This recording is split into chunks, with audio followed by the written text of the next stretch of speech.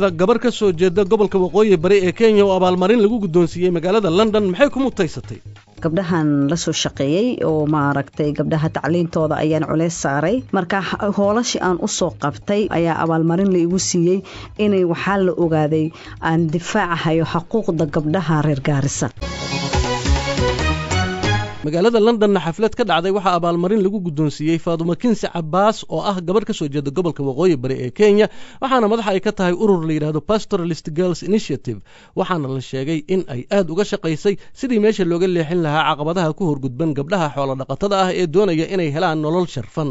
Ururkeeda waxaa sidoo kale uu dhisay iskuullo xarumo caafimaad iyo goobo laga helo biyaha. Abaalmarinta ayaa waxaa guddoonsiiyey urur la yidhaahdo stars foundation. Hawsha ururkeedu qabto iyo midda ay iyadu qabato ayaa waxay uga warrantay wariyaha b b c da farxaan maxamed jimcaale.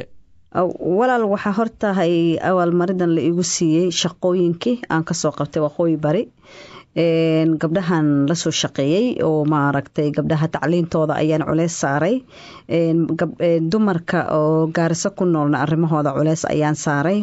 Arimaha culeyska aan saaray waxaa ka mid ahay equal educationka waxaa la dhahaa sinaashada gabdhaha tacliinta inay gabdhaha tacliinta aada u qaataan oo iskuulada bogaan iskuulada sare iyo kan hoose kudi sifay maaragtay nafsadooda ayaka ay wax isu taraan.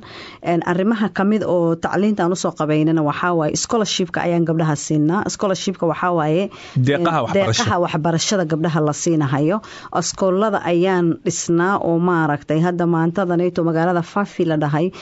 Halka iskuulka gabdhaha ka dhisan ilaahay aanan ku shukrin awoodda ilaahay isiiyey iyo kaalmadii dadka kale aan ka soo helay ayaan iskuulka ku bilaabay. Maantana iskuulkaasayto waa iskuul gabdha boqol iyo konton iyo shan gabdhood ayaana ka akhristaana. Marka hoolashii aan u soo qabtay iskuuladaasayto ayaa abaalmarin la igu siiyey inay waxaa la ogaaday aan difaacahayo xuquuqda gabdhaha reer gaarisa marka waatan lana baa timid abaalmarinta waatan hadda gacantaad ku haysato maxay kaaga dhigan tahay marka wallaahi hortahay farxad weyn ayay igaga dhigan tahay. Alxamdulilah ilaahayna waan ku shukrinhayaa waa wax aan la heli karin maanta inaan london imaado oo abaalmarinta la isiiyo. Abaalmarintahana ani kalix igumay imida. Wixii gabar oo gaariso ku nool ayay farxad u tahay. Yacni intii kula shaqaynaysa ila shaqaynaysa iyo intii aan u shaqaynayno kudigoodaba reer gaaris oo dhan ayay abaalmarin u tahay. Maxaa dhahay boqol iyo lixdanna way ku tartameen abaalmarintanayto boqol iyo lixdankii aan ku tartanay labaatankii lix ayaa laga soo qaatay labaatankii ayaa gaarisa ay ka soo gashay. Marka horta wax aan la heli karin waaye. Teeda kalena dhaqaalo yar ayay la imaanhaysa dhaqaalihiina gabdhihii ayuu ku noqonhayaa. Marka horta abaalmarinta waa wax shay aad u fiican waana wax ugu horeeyo marka haddaan ku soo noqono marka hawshan aad qabato ee gabdhaha ku dhaqan gobolkaasi waqooyi bari kenya aad wax ugu tarto aad wax ugu qabato dhibaatooyinka ugu waaweyna haysta marka waxbarashada laga soo tago maxay yihiin?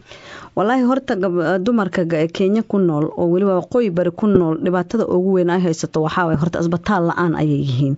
Oo maaragtay dhalmada ayay ugu rafaadsan yihiin.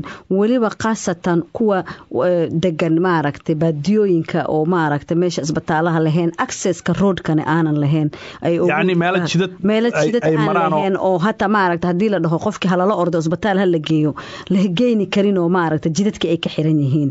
Teeda kale gabdhihii sinaasho oo maaragta dhaqaalo ma haystaana. Faaduuma kinsi cabaas ayay ahayd oo u warramaysay wariyaha b b c da farxaan maxamed jimcaale